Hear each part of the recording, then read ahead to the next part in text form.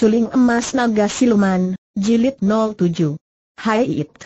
Mendadak Hai Leong Ong Chok Gu yang berdiri di sebelah agak kiri dari Su Oke, sudah menggerakkan dayungnya yang terbuat daripada kuningan itu dan menghantam ke arah kepala Su Oke yang pendek gendut seperti dirinya, akan tetapi tetap saja dia masih lebih tinggi sehingga Su Oke itu hanya sampai di bawah telinganya saja tingginya. Dayung itu menyambar dengan dahsyat sekali. Melihat ini, Hakim Chu sudah menerjang maju lagi dengan pedangnya, sedangkan Ban Kin Kwei Kuan Oke sudah menggunakan kepalan tangannya untuk membantu Chok Gu Chu mengeroyok Su Oke yang mereka tahu lebih lihai daripada Go Oke si jangkung itu. Terjadilah perkelahian yang amat seru. Su Oke dengan enak saja menyelinap ke bawah dan dayung itu menyambar ke atas kepalanya.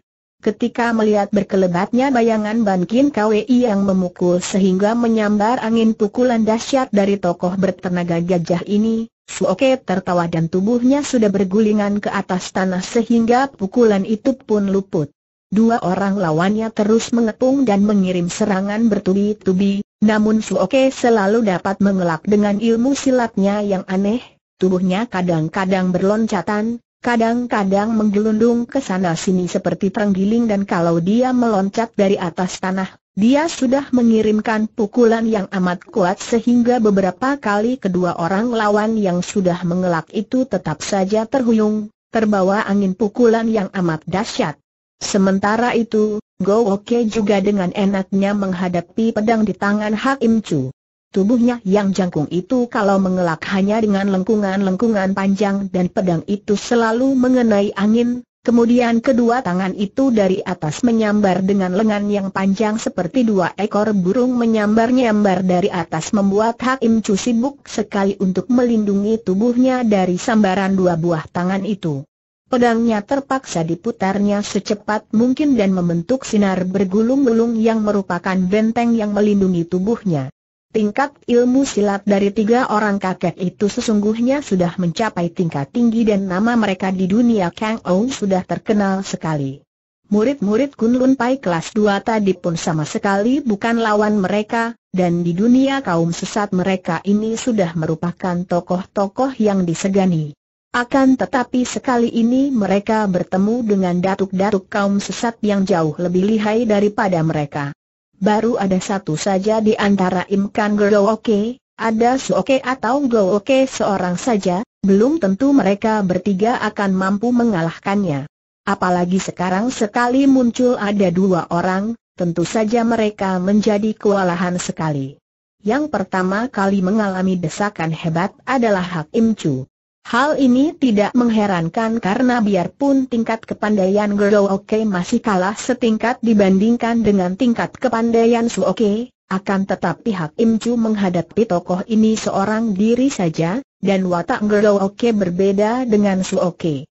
Suoke adalah orang yang suka bergurau dan suka mempermainkan orang, maka kini menghadapi pengeroyokan dua orang lawan itu dia pun sengaja mempermainkan mereka, seperti dua ekor tikus dipermainkan seekor kucing yang sudah merasa yakin akan kekuatan dan kemenangannya.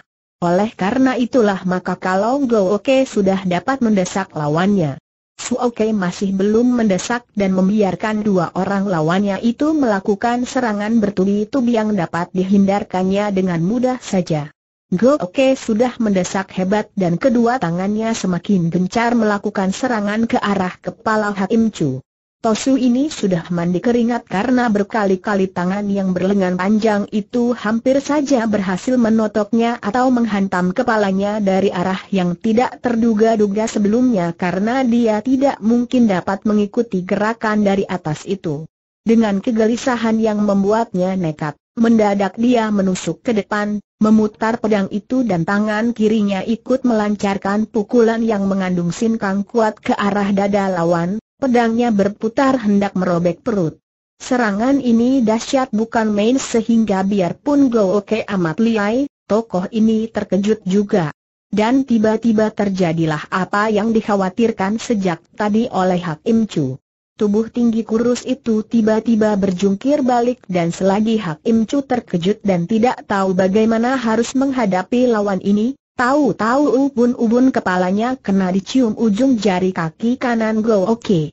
Aung Hak Im Chu terhuyung ke belakang, pandang matanya berkunang-kunang dan pada saat itu, Go Oke sudah menubruk ke depan dengan tubuh berjungkir balik kembali seperti semula dan dua kali tangannya menampar. Krek, krek terdengar suara dan patahlah kedua pergelangan tangan Hak Im Chu. Pedangnya terlempar jauh dan tahu-tahu jari-jari tangan kiri yang panjang dari Gooke telah mencekik lehernya dari belakang disambung oleh jari-jari tangan kanannya dari depan. Hak Im Chu meronta-ronta, tidak mampu melakukan tendangan karena tubuh lawan berada di belakangnya, sedang kedua lengannya sudah tidak dapat dipergunakan lagi. Dia meronta-ronta dan tubuhnya berkelojotan, namun sia-sia belaka. Cekikan itu makin kuat saja. Sungguh merupakan penglihatan yang amat mendirikan bulu roma apa yang dilakukan oleh Oke secara kejam bukan main itu. Akhirnya tubuh itu berhenti juga berkelojotan dan Oke melemparkan tubuh Hak Im Chu yang telah mati dengan mata melotot dan lidah keluar sampai memanjang. Aha, engkau terburu-buru amat, Go Te Oke yang dikeroyok dua itu masih sempat mentertawakan Oke. Akan tetapi Go Oke sudah tidak mau mempedulikan lagi karena manusia iblis ini dengan langkah panjang sudah menghampiri Tio Gin gadis Kunlun Pai yang berusia 18 tahun itu. Tiga orang gadis itu tidak pingsan, hanya tertotok saja dan tidak mampu menggerakkan tubuhnya. Semenjak tadi, mereka itu menangis melihat kedua orang suheng mereka tewas, Kemudian mereka menonton pertempuran antara manusia-manusia iblis itu dengan hati merasa ngeri dan takut. Mereka adalah gadis-gadis yang sudah menerima gemblengan lahir batin, akan tetapi baru sekarang mereka merasa ngeri dan takut karena maklum betapa mereka itu sama sekali tidak berdaya dan mereka terjatuh ke dalam tangan manusia-manusia yang lebih jahat daripada iblis sendiri. Saat si jangkung itu menghampiri dan menyambarnya seperti seekor elang menyambar anak ayam saja, lalu mengangkatnya tinggi-tinggi, Tio Gin Bue menjadi ketakutan dan merintih. Dua orang lainnya memandang dengan mata, terbelalak dan jantung berdebar. Rintihan Gin Bue makin lama menjadi jeritan-jeritan menyayat hati ketika dia dibawa ke balik tumpukan salju oleh si jangkung itu dan akhirnya tak terdengar lagi jeritannya. Tak lama kemudian Gerdo Oke sudah datang lagi dan sekarang tangannya yang berlengan panjang itu menyambar tubuh Lim Siang, juga seperti tadi dibawanya gadis itu kebalik tumpukan salju. Terdengar oleh Ang Bue bagaimana sucinya ini menjerit-jerit akan tetapi makin lama jeritannya menghilang terganti isak tangis yang menyedihkan. Sementara itu, terdengar Suoke tertawa dan kini mulailah dia menyerang kedua orang pengeroyoknya tubuhnya merendah bagaikan berjongkok dan pada waktu tangannya dihantamkan ke depan, Hei Leong Ong Chok Gu Tzu berteriak dan tubuhnya terlempar ke belakang, terbanting dan tewas seketika, dari mulutnya menyembur darah segar. Itulah pukulan kata buduk yang berbau amis dan beracun, akan tetapi juga ampuhnya menggila itu. Melihat ini, Ban Kin Kwei Kwan Oke tidak mempedulikan rasa malu lagi, dia telah meloncat hendak melarikan diri. Akan tetapi tahu-tahu si pendek itu sudah berada di depannya dan sekali Suokai melancarkan pukulannya seperti tadi, Ban Kin Kwei juga terjengkang dan tewas seketika dengan muntah-muntah darah. Ho hahaha Suokai tertawa dan pada saat itu Go Oke sudah menangkap Ang Wei, gadis ketiga. Gadis ini saking takut dan ngerinya telah berhasil membebaskan diri dari totokan, maka kini dia meronta-ronta dan melawan, menangis sambil berusaha mencakar dengan kedua tangannya. Akan tetapi Oke tidak peduli, lalu membawa gadis itu ke tempat tadi, diikuti oleh Suoke dan dengan buas dia merenggut dan merobek-robek pakaian Ang Bue, kemudian memperkosa gadis itu di bawah penglihatan Suoke yang tertawa-tawa gembira. Ang Bue sempat mengeluarkan jerit yang amat melengking saking takut dan ngerinya, akan tetapi selanjutnya dia tidak berdaya seperti dua orang sucinya yang sudah rebah sambil menangis dan dalam keadaan setengah pingsan itu. Agaknya jeritan inilah yang terdengar oleh Sim Hang Bu dan Sim Tek. Dua orang paman dan keponakan yang melakukan perjalanan mencari Yeti ini mendengar suara jerit aneh di tempat sunyi itu. Mereka tadinya mengira bahwa jerit-jerit yang mereka dengar terdahulu dan hanya terdengar lapat-lapat itu adalah jerit dari makhluk yang mereka buru, yaitu Yeti. Maka mereka menuju ke tempat itu, di balik puncak, dengan hati-hati agar mereka tidak sampai bertemu begitu saja dengan makhluk berbahaya itu. Mereka berindap-indap dan mendekati tempat itu sambil berlindung. Akan tetapi jerit terakhir yang mereka dengar, yaitu jerit yang keluar dari mulut Ang Bue, adalah jerit yang jelas dapat mereka kenal sebagai jerit yang keluar dari seorang wanita yang mungkin berada dalam keadaan ketakutan amat hebat. Maka kini keduanya berlari-lari menuju ke arah datangnya suara. Mereka mendengar suara orang tertawa-tawa di balik tumpukan salju dan jerit wanita tadi tidak terdengar lagi. Maka keduanya lalu meloncat dan menuju ke balik tumpukan salju.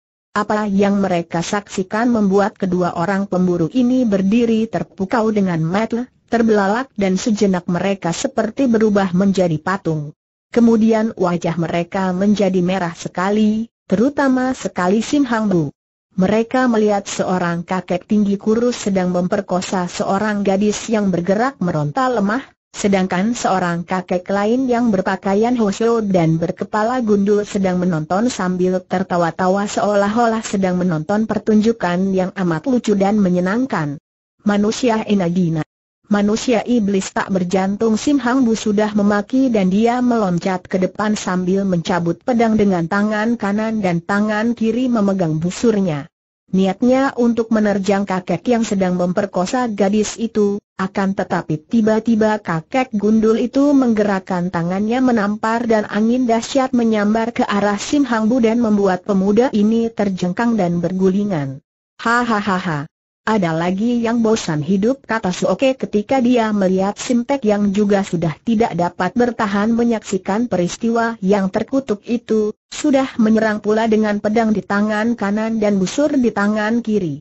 Simtek maklum bahwa kakek gundul pendek itu lihai bukan main, akan tetapi untuk membela gadis yang diperkosa itu, dia tidak peduli akan apa pun dan bersedia untuk mengorbankan nyawanya kalau perlu. Juga Hang Bu sudah bangkit lagi dan membantu pamannya menyerang. Akan tetapi tetap saja mereka berdua tidak mampu menyerang kakek jangkung yang sedang memperkosa gadis itu, karena kakek pendek gundul selalu menghadang mereka. Maka terpaksa mereka kini menerjang kakek gundul dan terjadilah perkelahian yang tidak seimbang. Jangankan dikeroyok oleh dua orang pemburu paman dan keponakan ini. Sedangkan pengeroyokan dua orang berilmu tinggi seperti Ban Kin Kwei Kuan Kuk dan Hai Leong Ong Chok Gu Tzu pun berakhir dengan kematian dua orang lihai itu. Kini dengan enaknya Suokai mempermainkan paman dan keponakan itu.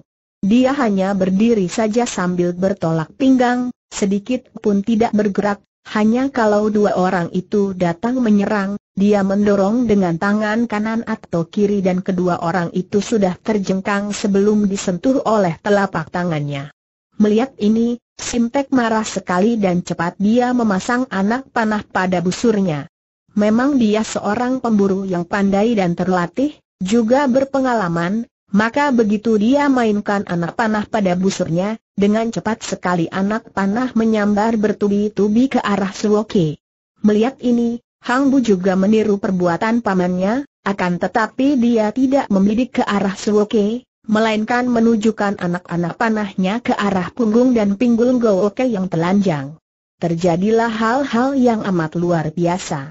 Suoke hanya menggerakkan kedua tangannya dan semua anak panah yang dilepas oleh Simtek itu kembali ke arah penyerangnya dengan kecepatan jauh lebih laju lagi daripada ketika anak-anak panah itu tadi meluncur dari gendawa Simtek. Pemburu ini terkejut dan berusaha mengelak, akan tetapi sebatang anak panah yang ditangkap oleh Suoke dan dilontarkannya, seperti kilat menyambar dan menembus dadanya. Robohlah pemburu itu dengan dada tertembus anak panah sampai ke punggung dan tentu saja dia roboh dan tewas. Anak-anak panah yang dilepas oleh Hang Bu dengan tepat mengenai punggung dan pinggul si jangkung, akan tetapi anak panah itu seperti mengenai tubuh dari baja saja, semua terpental dan meleset, tidak ada sebatang pun yang mampu melukai tubuh Go Oke. Dan sebelum Hang Bu dapat memanah lagi, tahu-tahu tengkuknya telah dipegang oleh Suoke dan dia tidak mampu bergerak lagi, hanya meronta-ronta di udara sambil memaki-maki. Kalian membunuh pamanku. Kalian adalah iblis-iblis terkutuk, kalian manusia-manusia jahanam. Hayo, bunuh aku sekalian teriaknya sambil kakinya menendang-nendang.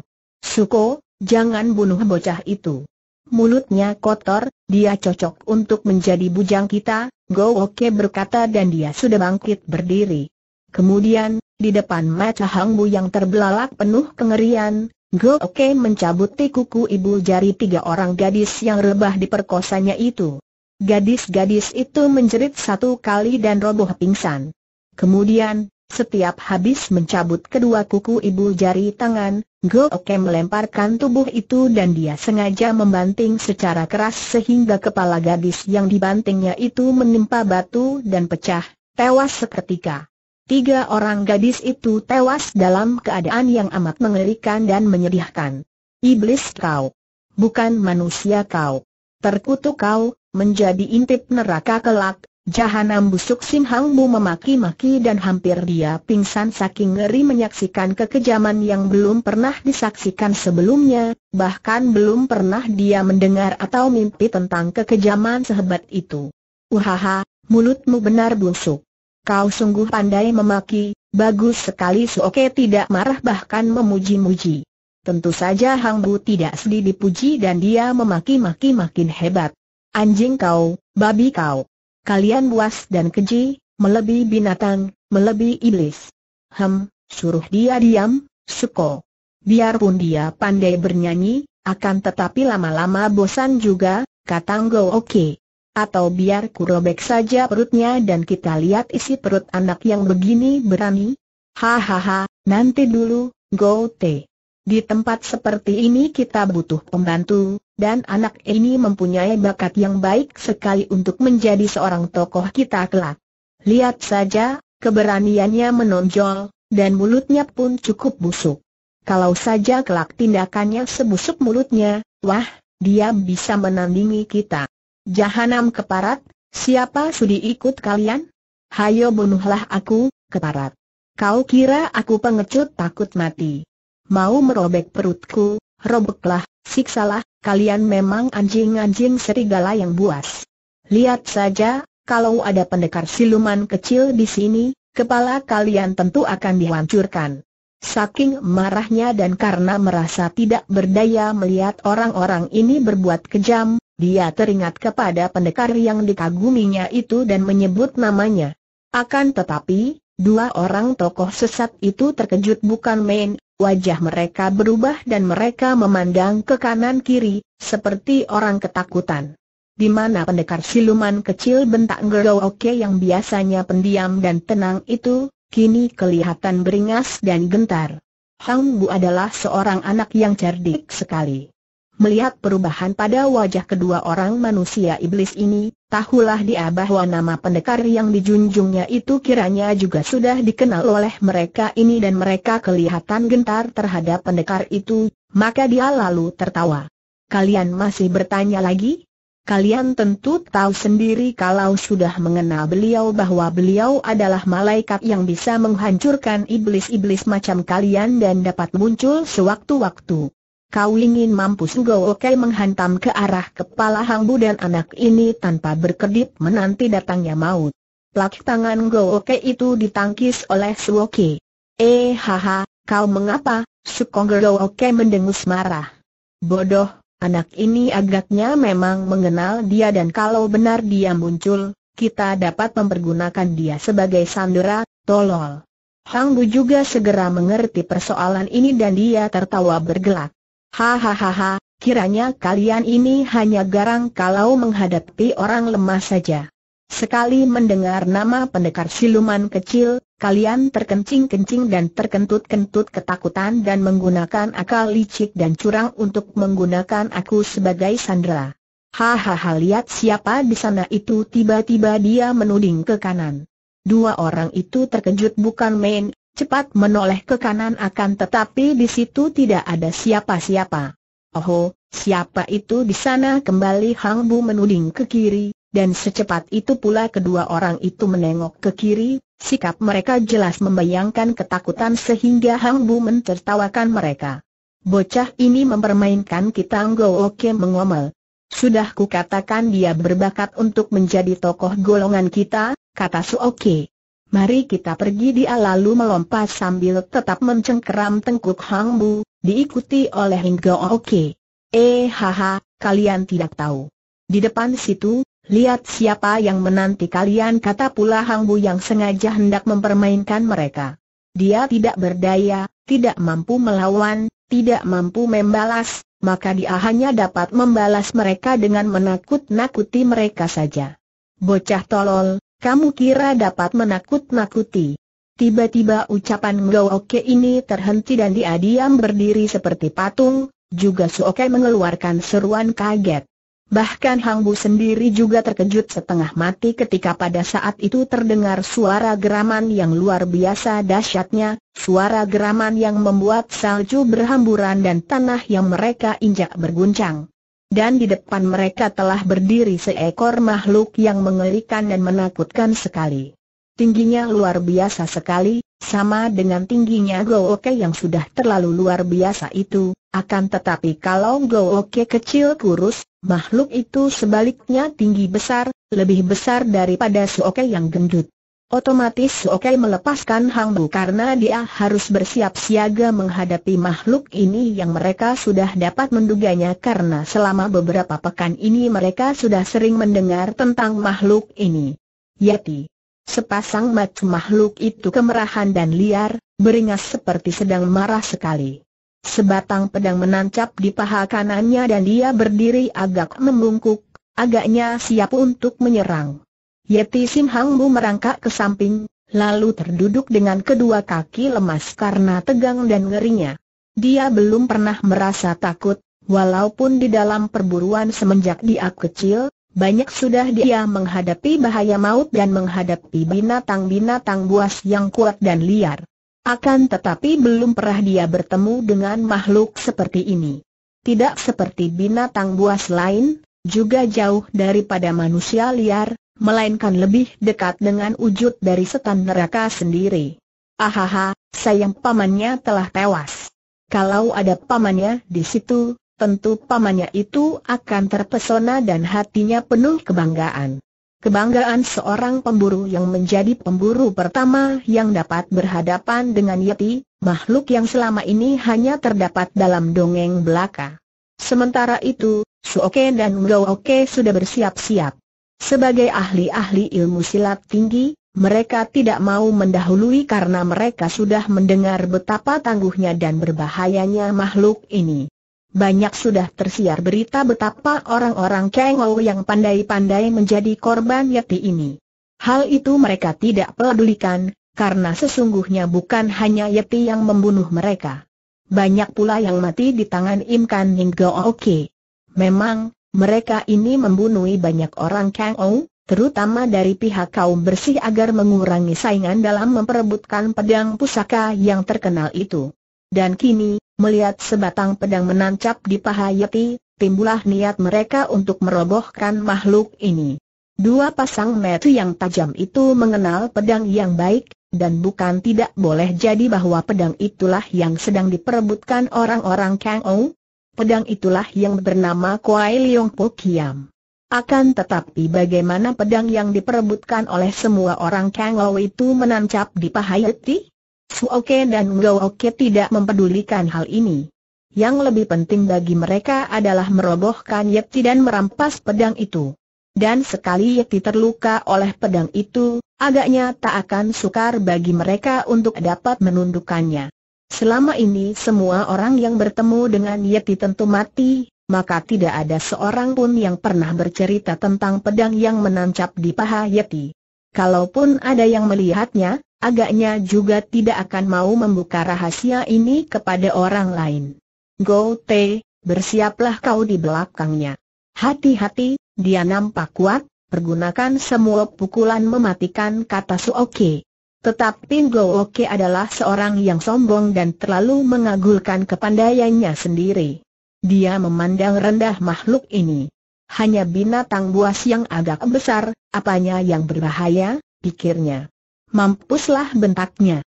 Tiba-tiba dia sudah menerjang dari samping, lengannya yang panjang itu terulur dan dengan pengerahan sinkang yang amat dahsyat tangan itu menghantam ke arah kepala makhluk itu dari atas ke arah ubun-ubun yang dianggap tempat yang lemah dan agaknya Oke ini hendak merobohkan makhluk itu dengan sekali pukul saja maka dia mengerahkan seluruh tenaganya. Melihat si jangkung ini sudah menyerang, Suoke juga membarengi dengan pukulan dahsyat, kata buduk yang dilakukan sambil berjongkok, menghantam ke arah perut makhluk itu. Serangan orang keempat dan kelima dari Im Kan Oke itu dahsyat bukan main dan seorang ahli silat yang jagoan sekalipun kiranya tidak akan begitu mudah untuk menghindarkan diri dari serangan-serangan yang hebat itu. Makhluk yang disebut Yeti itu mengeluarkan geringan dahsyat sekali seolah-olah tidak tahu bahwa dirinya diserang dengan pukulan-pukulan maut dan tanpa mempedulikan serangan lawan, kedua lengannya yang besar panjang berbulu itu tahu-tahu sudah mencengkeram ke arah dua orang lawan yang menyerangnya.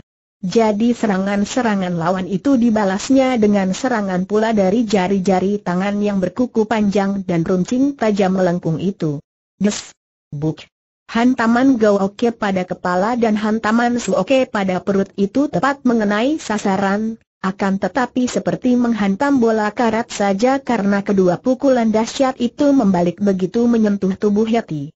Kiranya Yeti itu memiliki kekebalan yang sungguh luar biasa dan selamanya belum pernah dilihat oleh dua orang datuk kaum sesat itu.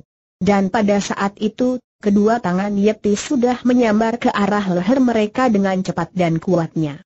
Dua orang datuk kaum sesat itu berseru keras dan melempar tubuh ke belakang, akan tetapi angin sambaran tangan itu menyambar dan membuat mereka merasa leher mereka perih seperti diserempet pedang tajam. Kagetlah kedua orang datuk itu dan mereka tahu bahwa Yeti itu ternyata bukan lawan sembarangan, melainkan makhluk yang memiliki kekebalan sukar dipercaya. Maka mereka berhati-hati dan kini Oke mengeluarkan suara mendengus dan tubuhnya sudah berjungkir balik, sedangkan Suoke sudah mengumpulkan kekuatannya dan bergulingan seperti seekor tenggiling. Yeti menggereng-gereng dan berdiri agak membungkuk, kedua tangan diangkat seperti sikap seekor beruang, dengan gerakan kepala dan lirikan matanya yang merah itu dia mengikuti gerakan aneh dari dua orang pengeroyoknya itu. Yang seorang berjungkir balik dan berloncaran dengan kepala menjadi kaki sehingga terdengar suara dak-duk-dak-duk sedangkan yang seorang lagi bergulingan bagaikan terenggiling atau seperti seorang anak kecil yang rewel. Mendadak Oke mendengus lagi dan tubuhnya menyambar ke depan. Mulailah dia menyerang dengan kedua kakinya, dengan ujung kaki dia menotok ke arah jalan darah di leher dan sebelah kaki lagi menusuk ke metu Yeti itu. Sedangkan dari arah lain Suoke yang tadinya bergulingan itu sekarang telah berjongkok serendahnya sehingga perut gendutnya mengenai tanah, sikapnya seperti seekor kodok tulen, dan dari bawah itu dia mengeluarkan pukulan yang ampuh dengan pengerahan seluruh tenaga sehingga tercium bau amis bukan main ketika terdengar suara mencicit diikuti angin berdesir dari kedua telapak tangannya, menghantam ke arah Yeti. Agaknya Yeti itu pun tahu bahwa dua orang lawannya ini adalah orang pandai, dan mungkin pengetahuannya ini timbul ketika dia merasakan hantaman mereka yang pertama tadi, yang biarpun dapat diterimanya dengan kekebalan yang luar biasa, namun agaknya juga terasa olehnya. Pukulan kaki Oke ke arah leher dan matu datang lebih dulu dari serangan Suoke. Yeti itu tiba-tiba miringkan tubuh atas sehingga totokan itu luput dan dengan cepat dia menyambar dengan tangannya. Gerakannya itu cepat bukan main dan tahu-tahu sebelah kaki Oke telah dapat dicengkeramnya. Oke terkejut bukan main, mengerahkan tenaga dan meronta. Pada saat itu, pukulan Suoke telah tiba dan menghantam dada Yeti. Des! Sekali ini karena Yeti itu membagi tenaganya untuk menangkap kaki Oke dan Suoke memukul dengan pengerahan seluruh tenaga, Maka Yeti menggereng, pegangannya terlepas dan dia terlempar ke belakang, lalu jatuh terbanting. Akan tetapi hal ini membuatnya semakin marah dan agaknya dia hanya nanar sedikit saja, kemudian dia meloncat dan menubruk ke arah Suoke. Bukan main kagetnya orang pendek gendut ini ketika merasa betapa tubrukan ini mengandung tenaga sedikitnya seribu kati. Dia melempar tubuh ke belakang dan bergulingan sehingga terhindar dari tubrukan itu. Sebaliknya, yang kena ditubruk adalah sebuah batu besar terbungkus salju dan terdengar suara keras ketika batu itu pecah berhamburan mencelat ke sana sini. Suoke bergidik juga menyaksikan kedahsyatan Yeti itu. Kini dia dan terutama sekali Oke tidak berani main-main lagi. Mereka berdua lalu menerjang dari depan belakang, mengeluarkan semua ilmu kepandaian mereka, mengandalkan kegesitan dan secara bertubi-tubi namun hati-hati mereka menyerang dengan pukulan-pukulan sakti. Yeti itu agaknya juga berhati-hati kini.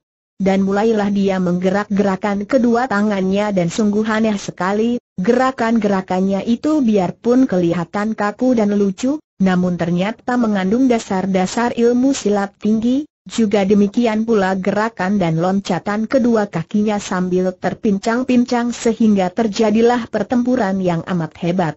Melihat ini, Sim Hang Bu yang sejak tadi merasa kasihan kepada Yeti yang kakinya sudah tertusuk pedang itu, memaki-maki dua orang datuk kaum sesat itu. Kalian berdua kakek tua bangka yang jahat. Manusia berwatak iblis. Yeti itu sudah terluka pedang, dan kalian masih mendesaknya sungguh tidak tahu malu sama sekali. Kalian lebih buas dan liar daripada binatang. Tak tahu malu. Pengecut, beraninya mengeroyok seekor binatang yang sudah terluka pula. Cih, tak tahu malu. Untuk melampiaskan kedongkolan hatinya, Sim Hang Bu mencari batu-batu sebesar kepalan tangan dan mulailah dia menyambiti dua orang kakek yang mengeroyok Yeti itu. Tentu saja sambitan-sambitan itu tidak ada artinya bagi Suoke dan Oke, akan tetapi mereka tidak dapat melayani Hang Bu dan tidak mempedulikan anak itu karena mereka sendiri terdesak hebat oleh Yeti. Memang hebat sekali makhluk itu. Setiap kali dua orang datuk itu beradu lengan atau kaki Oke bertemu dengan lengan yang berbulu itu, mereka berdua merasa betapa tubuh mereka tergerak hebat. Diam-diam mereka merasa heran dan juga terkejut, karena mereka tahu bahwa Yeti itu bukan hanya mempergunakan tenaga kasar atau tenaga otot seperti binatang-binatang buas pada umumnya, melainkan tenaga sinkang yang luar biasa kuatnya. Sungguh sukar dapat dimengerti bagaimana mungkin makhluk yang seperti binatang buas ini dapat menghimpun sinkang yang sedemikian kuatnya. Dua orang datuk itu telah merasa lelah dan seluruh tubuh sakit-sakit, juga pipi Oke telah berdarah terkena cakar, sedangkan telinga kiri Oke pecah-pecah terkena sambaran pukulannya. Mereka kewalahan sekali dan akhirnya dengan marah Oke berkata, Go mari satukan tenaga dan serang dia. Go Oke yang juga merasa penasaran sekali, lalu meloncat ke dekat Oke. Memang mereka merasa penasaran. Masa mereka, dua orang di antara Im Kan Oke yang menggetarkan dunia persilatan, kini harus mengaku kalah terhadap seekor binatang, padahal mereka maju bersama. Hal ini kalau sampai diketahui oleh dunia Kang Ou, bukankah nama mereka akan runtuh dan terseret ke dalam lumpur? Suoke sekarang berjongkok mengerahkan tenaga katak buduk, Sedangkan Gero Oke juga mengerahkan tenaganya, kemudian dengan berbareng mereka menghantamkan kedua tangan mereka dengan tangan terbuka ke arah Yeti yang menerjang maju. Angin yang dahsyat bukan main menyambar ke depan, dan inilah pukulan jarak jauh yang disertai penggabungan tenaga sinkang oleh kedua orang datuk kaum sesat itu. Agaknya Yeti itu pun maklum akan hal ini, maka sambil menggereng, Gerengan yang menggetarkan jantung dua orang lawannya dia pun mendorongkan kedua tangannya ke arah mereka. Terjadilah adu tenaga yang amat hebat di tengah udara yang dingin itu dan akibatnya, Yeti itu terhuyung ke belakang akan tetapi dua orang datuk kaum sesat itu terlempar ke belakang seperti dua buah layang-layang putus talinya. Akhirnya mereka terbanting ke atas salju dan keduanya mengeluh panjang, lalu merangkak bangun, menoleh ke arah Yeti dengan muka pucat. Melihat Yeti masih berdiri dengan tubuh agak membungkuk, mati merah penuh kemarahan itu, keduanya lalu lari tunggang langgang.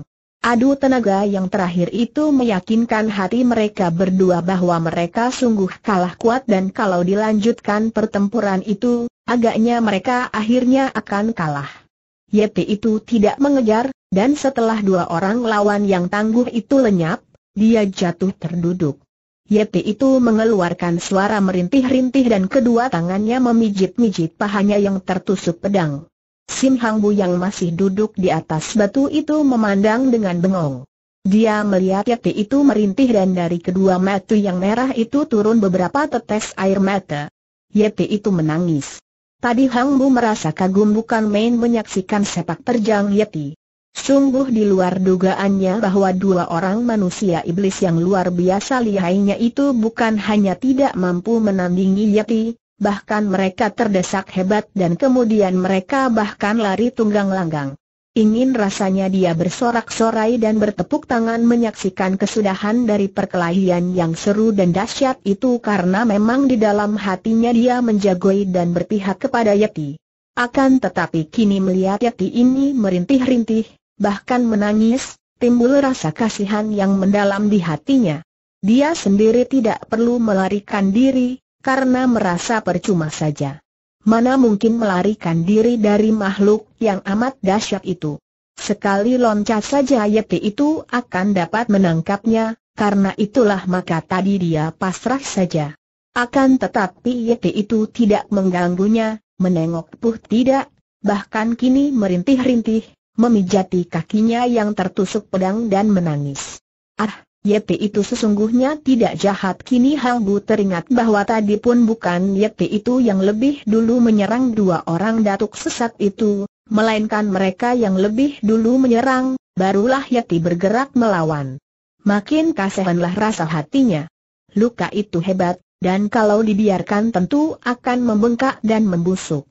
Sebagai seorang pemburu, tentu saja di dalam saku baju Hang Bu tersimpan obat-obat, terutama sekali obat luka, obat untuk melawan racun dan gigitan binatang berbisa. Bagaimanapun juga, tadi dia telah terjatuh ke dalam tangan dua orang kakek iblis yang telah membunuh pamannya itu, dan tipislah harapannya untuk dapat selamat di tangan mereka itu. Kini dia terbebas dan hal ini tidak dapat disangka lagi adalah karena pertolongan Yeti ini. Maka, akan malulah dia kalau sekarang tidak membalas budi selagi Yeti itu dalam keadaan yang demikian sengsara. Maka Hang Bu lalu bangkit berdiri, perlahan-lahan dia melangkah menghampiri Yeti yang masih duduk di atas salju memijit-mijit kaki atau paha kanannya itu. Luka yang tertusuk pedang itu kini mengeluarkan darah yang agak kehitaman. Ah, dia keracunan, pikir Hang Bu. Harus cepat diberi obat. Ketika Hang Bu sudah tiba mendekat di depan Yeti itu, tiba-tiba Yeti itu mengangkat kepalanya, sepasang mata merah itu memandang, mata yang masih basah oleh air mata dan tiba-tiba Yeti itu menggereng dengan geram. Hang Bu terkejut sekali, akan tetapi anak ini sudah bertekad untuk menolong makhluk itu, maka dia menuding ke arah paha Yeti sambil berkata, Yeti, aku, aku hanya ingin membantumu, mengobati luka di pahamu itu.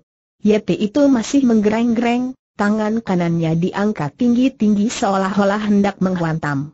Akan tetapi Hang Bu yang sudah nekat itu memandang dengan sepasang matanya yang jernih, terang dan tajam, sedikit pun tidak merasa takut.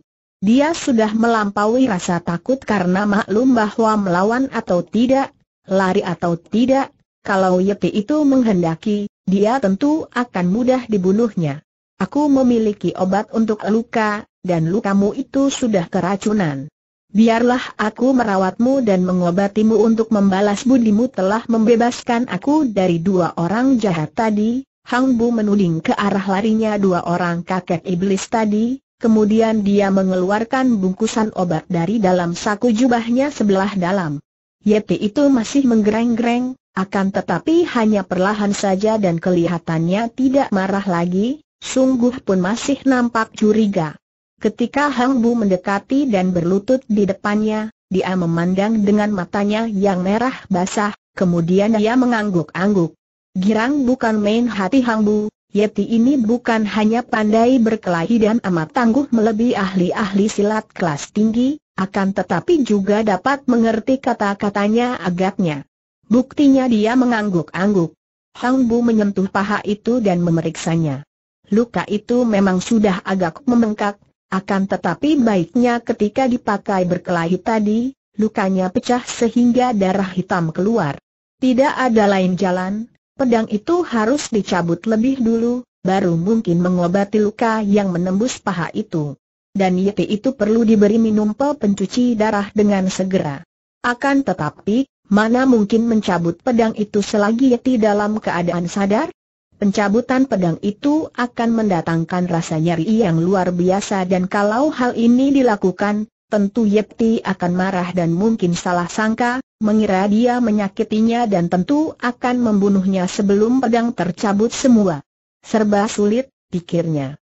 Akan tetapi Hang Bu yang sejak kecil seolah-olah sudah belajar hidup sendiri dan menghadapi sendiri segala macam kesulitan dan bahaya itu telah memiliki kecerdikan luar biasa.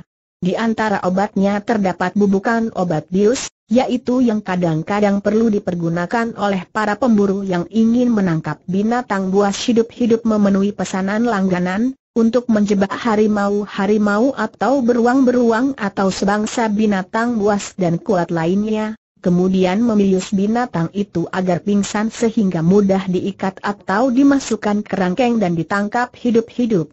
Yati, engkau telah keracunan, harus makan obat ini. Maukah Hang Bu mengeluarkan sebungkus obat bubuk dan memperlihatkannya kepada Yeti? Obat bubuk itu adalah obat bius yang biasanya dicampur dengan daging atau makanan lain untuk diberikan sebagai umpan kepada binatang buas yang akan ditangkap. Kembali Yeti itu mengangguk-angguk. Giranglah hati Hang Bu. Dengan sebuah cawan yang selalu dibawanya, dia mencampur obat bubuk itu dengan salju. Biasanya, untuk seekor harimau cukup diberi seperempat bungkus saja. Akan tetapi dia tahu bahwa Yeti ini amat kuat, jauh lebih kuat daripada seekor binatang yang bagaimana besar pun, maka dia menaruh seluruh isi bungkusan itu ke dalam cawan dan mencampurnya dengan salju.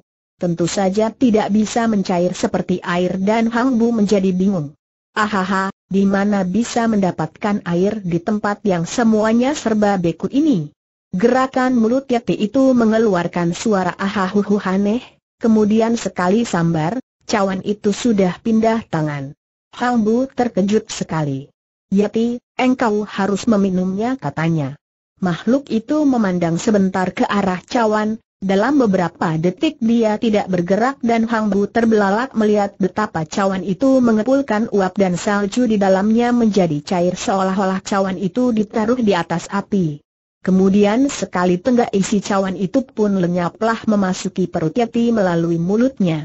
Yeti mengembalikan cawan kepada Hang Bu yang menjadi girang bukan main. Dia masih terheran-heran bagaimana cawan itu dapat mengepulkan uap dan salju itu dapat mencair. Keluarganya yang semua merupakan ahli-ahli silat belum mencapai tingkat setinggi itu sehingga melihat hal itu seperti sulapan saja. Yeti yang baik, engkau memang cerdik sekali.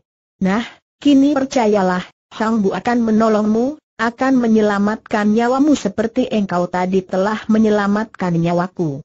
Hang Bu lalu mengelus-elus paha itu. Agaknya Yeti itu merasa keenakan dan dia diam saja, kemudian dia menguap seperti orang diserang kantuk. Hang Bu kembali terheran-heran. Makhluk ini memang mirip manusia, bisa menguap segala kalau mengantuk, dan dia tahu bahwa obat bius itu sudah mulai bekerja. Maka sambil mengelus-elus paha itu dia berkata halus, Yati, kau tidurlah kalau lelah dan mengantuk. Biar aku menjagamu di sini. Tidurlah dengan lembut dia mendorong dada Yeti itu disuruhnya berbaring. Yeti itu agaknya mengerti karena dia lalu merebahkan diri miring, berbantal lengannya yang besar dan tak lama kemudian dia pun sudah tidur atau pingsan karena pengaruh obat bius. Hang Bu kemudian mengeluarkan perlengkapannya dari dalam saku-saku jubahnya. Dia membuat api, hal yang amat sukar akan tetapi akhirnya dia berhasil juga dan menggodok obat-obat luka dan obat-obat minum. Setelah itu, barulah dia mencoba untuk mencabut pedang itu dari paha Yeti. Agaknya pedang itu terselip antara tulang dan otot, sukar sekali dicabutnya biar dia sudah mengerahkan seluruh tenaganya. Tiba-tiba Yeti mengeluarkan suara dan terkejutlah Hang Bu, mengira makhluk itu sadar. Akan tetapi ternyata tidak dan agaknya rasa nyeri membuat Yeti mengigau dalam tidur atau pingsannya. Hang Bu mengerahkan tenaganya lagi. Dia menginjakan kaki kirinya pada paha Yeti itu, dan kedua tangannya memegang gagang pedang lalu menarik. Dia menahan napas, mengerahkan tenaga sampai mengeluarkan suara ahahuhu, dan akhirnya pedang itu mulai dapat ditarik. Begitu bergerak, maka sekali dia mengerahkan tenaga, pedang itu tertarik keluar dan dia pun jatuh terjengkang. Bukan main girangnya, tetapi matanya silau melihat pedang yang berkilauan itu. Pedang yang hebat, pikirnya, dan dengan hati-hati dia meletakkan pedang itu di dekat tubuh Hati. Darah mengalir keluar dari depan dan belakang paha, darah yang agak menghitam. Hang Bu memijit-mijit paha itu. Akan tetapi paha itu terlalu besar dan keras sehingga akhirnya dia menggunakan kedua kakinya, menginjak-injak paha itu dan mengenjot-enjotnya agar darah dapat keluar dari dua lubang luka di depan dan belakang paha. Usahanya ini berhasil dan lebih banyak darah hitam lagi keluar. Lalu darah pun berhenti dan betapapun dia mengusahakan, tidak ada lagi darah yang keluar. Terpaksa dia lalu menaruh obat-obat luka di kedua luka itu sampai penuh, dan dibalutnya paha itu kuat-kuat dengan robekan kain ikat pinggangnya. Setelah selesai, puaslah hatinya. Kini dia tinggal menanti Yeti itu sadar dan akan diberinya minum obat pencuci darah yang telah digodoknya itu. Tiba-tiba dia mendengar suara di belakangnya. Cepat Hang Bu menoleh dan dilihatnya seorang tosu yang usianya setengah tua, berwajah tampan dan gagah, tubuhnya tinggi tegap, kedua tangannya memegang sepasang pedang, sudah berdiri di situ sambil memandang dengan penuh perhatian ke arah Yeti yang sedang tidur atau pingsan. Tosu ini bukan lain adalah Hui Siang Kiam Chiokam, Tosu dari Kunlun San itu, yang pernah bertemu dengan Yeti bersama dua orang temannya, yaitu Hok Kengcu dan Hok Tiacu yang sudah tewas oleh Yati.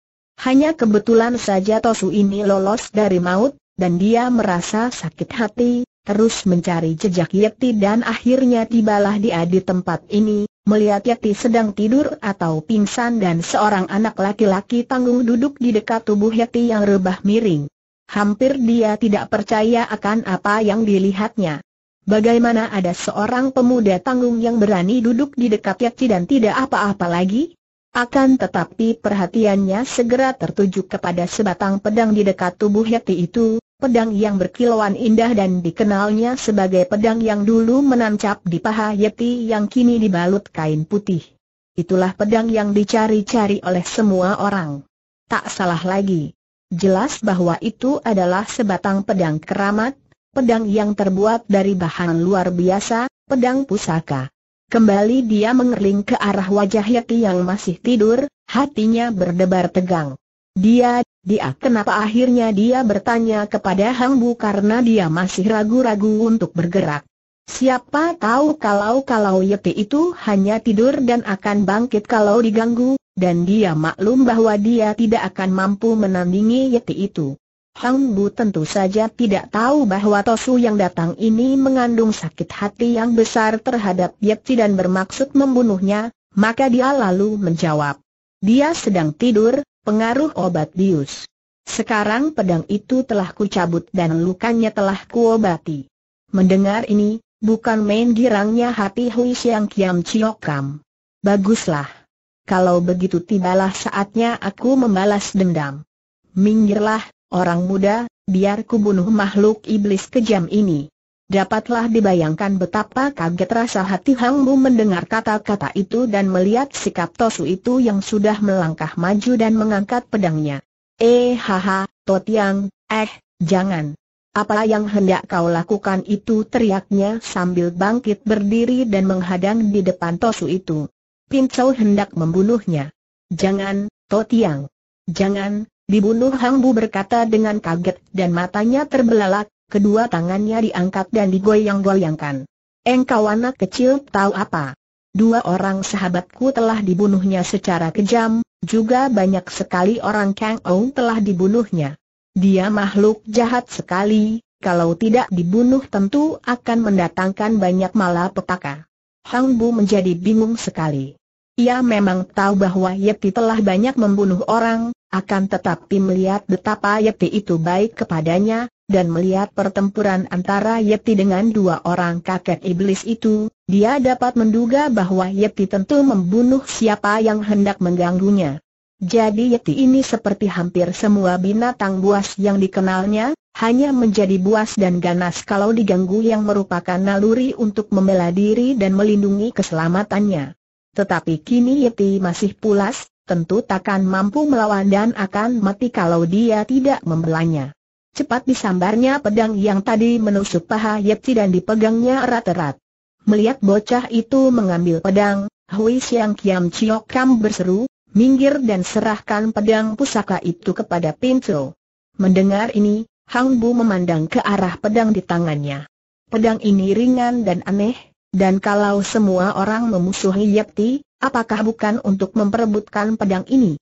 Dia pun mendengar desas-desus tentang sebatang pedang keramat yang kabarnya dicuri orang dari kota raja dan dibawa ke Himalaya dan kini orang-orang Kang Ou memenuhi daerah ini hanya untuk mencari pedang keramat itu. Inikah gerangan pedang yang diperebutkan itu? Totiang, sesungguhnya. Totiang hendak membunuh Heti ataukah hendak merampok pedang ini? Wajah Wei Siang Kiam Chiok Kam berubah merah. Memang tidak dapat disangkal pula, yang mendorong dia membayangi dan mencari Yeti adalah pedang yang menancap di paha Yeti itu, dan tentu saja juga karena dia ingin membalas kematian kedua orang sahabatnya. Printo, Printo, wah, engkau anak kecil banyak cerewet. Minggirlah biar ku bunuh dia. Tidak. Engkau tidak boleh membunuhnya Hang Bu berkata dengan tegas dan berdiri melindungi tubuh Yeti yang masih rebah miring.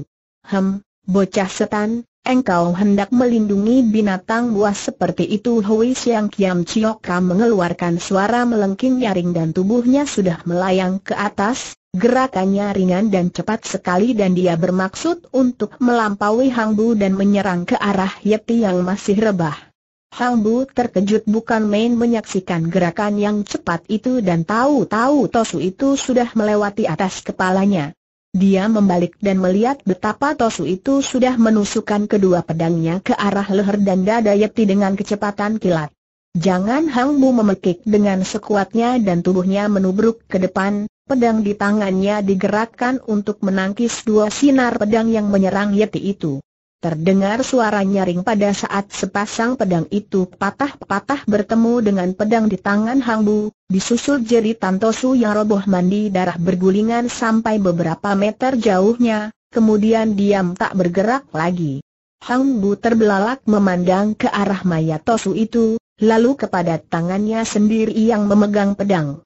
Dia cepat menghampiri Tosu itu dan dapat dibayangkan betapa kagetnya ketika dia melihat Tosu itu telah tewas dengan dada luka bercucuran darah. Terdengar suara gerengan dan ketika dia menoleh, dia melihat Yeti itu sudah bangkit duduk, lalu Yeti itu sekali lompat sudah tiba di dekat mayat Tosu itu dan melihat Tosu itu sudah tewas, Yeti lalu mengeluarkan suara aneh seperti orang tertawa, dan sekali menggerakkan tangan dia telah merampas pedang dari tangan Hang Bu kemudian dia memondong Hang Bu, diangkatnya tinggi-tinggi dan dia menari-nari kegirangan sambil terpincang-pincang.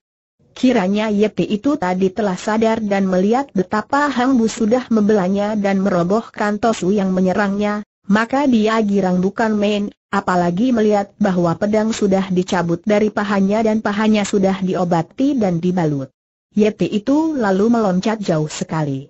Hampir Hang Bu berteriak karena merasa ngeri ketika Yeti itu kini berlompatan dan berlari dengan kecepatan yang luar biasa, melalui tempat-tempat tinggi, melalui jurang-jurang yang curam dan memasuki dunia es yang amat aneh bagi Hang Bu.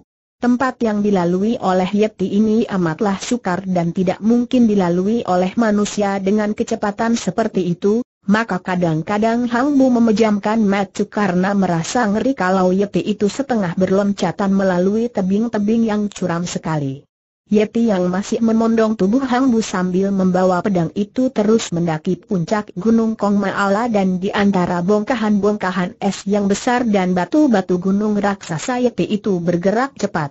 Dia tentu sudah hafal akan tempat ini karena dia bergerak di antara batu-batu dan bukit-bukit salju dan es itu dengan cepat tanpa ragu-ragu, kemudian dia menyelinap antara dua buah batu yang berhimpitan dengan miringkan tubuhnya. Akan tetapi baru masuk lima langkah, Yeti itu berhadapan dengan batu bulat yang amat besar dan tidak nampak ada jalan sama sekali. Hang Bu mengira bahwa tentu Yeti itu tersesat jalan, akan tetapi tiba-tiba Yeti itu menggunakan tangan kanannya untuk mendorong batu itu, sedangkan tangan kirinya masih memondong tubuh Hang Bu. Batu sebesar bukit kecil itu bergerak dan menggelinding beberapa kaki ke kiri, dan nampaklah sebuah lubang yang besarnya hanya satu meter persegi. Yeti itu menurunkan Hang Bu, menuding ke arah lubang dengan isyarat seolah-olah menyuruh Hang Bu masuk. Pada waktu itu, Hang Bu merasa sendirian saja di dunia ini, sudah tidak ada siapa-siapa lagi setelah pamannya tewas. Maka kini dia pasrah saja kepada Yeti dan dia pun merangkak masuk. Yeti itu pun masuk, akan tetapi lebih dulu dia mengerahkan tenaga dan menggunakan kedua tangannya untuk menarik batu itu menggelinding kembali menutupi lubang. Mereka lalu merangkak melalui lubang terowongan itu sampai beberapa puluh meter dalamnya dan tiba-tiba saja nampak cahaya terang dan lubang kecil itu berubah menjadi lorong yang besar dan berlantai batu. Kiranya di situ terdapat terowongan rahasia yang besar dan Yeti itu menggandeng tangan Hang Bu, diajaknya masuk terus. Mereka berjalan maju, berlika-liku melalui terowongan yang kadang-kadang gelap sekali akan tetapi ada kalanya terang karena bagian atasnya terdapat lubang-lubang atau celah-celah batu dari mana sinar matahari dapat masuk. Ketika Yeti itu akhirnya berhenti, mereka tiba di ruangan dalam puncak atau di bawah batu-batu, ruangan yang amat luas. Hang Bu merasa seperti hidup di alam mimpi. Bukan main indahnya pemandangan dari ruangan itu. Terdapat lubang-lubang besar seperti jendela dan dari sini dia dapat melihat puncak-puncak yang diliputi salju, lain bagian memperlihatkan dunia es yang bentuknya bermacam-macam dan berkilauan memantulkan sinar matahari, dan ada lagi bagian yang penuh tumbuh-tumbuhan, hal yang amat aneh sekali di puncak itu. Di sudut ruangan itu, agak tertutup dan sebagai penghalang, dia menemukan dua orang manusia yang sedang duduk bersila. Akan tetapi ternyata mereka itu duduk di dalam es atau salju yang turun dari atas sehingga tempat itu tidak pernah lepas dari kurungan es dua mayat orang yang masih seperti hidup saja, masih lengkap pakaiannya dan melihat pakaian mereka itu, jelas bahwa mereka adalah sepasang orang muda yang tampan dan cantik, juga keduanya menunjukkan sifat gagah. Yati, Siapakah mereka ini tak terasa lagi Hang Bu bertanya kepada Yeti seolah-olah Yeti itu adalah seorang manusia lain yang dapat bicara. Akan tetapi ternyata anehnya, Yeti menghampiri tempat itu dengan langkah lemas, kemudian melihat mayat wanita yang cantik, yang usianya kurang lebih 30 tahun, tiba-tiba dia menjatuhkan diri di depan kurungan es di mana wanita itu bersila, dan dia pun menundukkan mukanya dan mengeluh panjang pendek, dan dari kedua matanya bercucuran air mata pula. Tentu saja Sim Hang Bu menjadi terkejut, terheran dan juga kasihan. Dia menghampiri Yeti itu, meraba pundaknya dan berkata lirih. Yeti, perlu apa menangisi orang yang sudah mati? Yang mati takkan hidup kembali, dan kita yang hidup toh akhirnya akan mati juga seperti mereka ini. Yeti itu mengeluarkan suara ah uh, akan tetapi agaknya dia pun berhenti berduka, lalu dia mengajak Hang Bu dengan menggandeng tangannya meninggalkan arca aneh itu, menghampiri sudut di mana terdapat sebuah peti hitam. Dibukanya peti itu dan lalu dikeluarkannya sebuah kitab catatan yang diserahkannya kepada Hang Bu. Setelah begitu, Yeti itu lalu merebahkan dirinya di sudut lain yang kering dan tak lama kemudian sudah terdengar dengkurnya. Kasihan, pikir Hang Bu. Semua gerak-gerik dan sikap Yati itu sama sekali bukan seperti binatang, melainkan seperti seorang manusia yang dirundung malang dan menderita kepedihan hati yang hebat. Maka dia lalu membawa kitab itu ke dekat jendela yang terang dan mulailah dia membalik lembaran pertama dari kitab itu. Kitab itu terbuat dari kertas yang sudah tua sekali, sudah menguning dan tulisannya juga sudah kabur, akan tetapi masih dapat dibaca karena ditulis dengan huruf-huruf yang kuat dan jelas. Hang Bu mulai membaca catatan itu dengan asik, dan tahulah dia bahwa catatan itu adalah catatan yang dibuat oleh mayat pria yang seperti pendekar itu, agaknya menceritakan atau mencatat semua peristiwa yang mereka alami di tempat ini.